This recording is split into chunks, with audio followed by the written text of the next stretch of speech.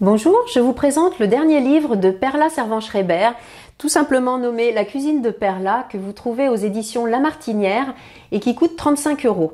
Alors, dans ce livre, 200 recettes, 200 recettes qu'on aurait aimé que notre maman ou que notre grand-mère nous transmettent, des recettes euh, saines, des recettes qui ont du goût, puisque Perla Servan-Schreiber euh, est une très bonne cuisinière, elle n'est pas que euh, journaliste, et du coup, elle nous propose plein de recettes très très attrayantes. On a quasiment tout envie de les faire. Moi, j'en ai déjà fait quelques-unes, et elles sont agréables. On se dit, c'est la convivialité, c'est le plat que l'on a envie de faire quand on reçoit soit les amis, ceux qu'on aime et à qui on a envie de, transmettre tout notre amour. Donc, euh, je dirais qu'au fil euh, des pages, eh bien, elle nous donne des petits conseils, des petites astuces euh, et l'origine de la recette, puisqu'elle connaît beaucoup de chefs et du coup, elle les a adaptés à, sa sauce, si je puis dire. Et c'est vraiment une, cuisine conviviale, chaleureuse, mais également modérée sur le gras, sur le sucre. Il y a quelques recettes riches, mais ça reste des recettes tout à fait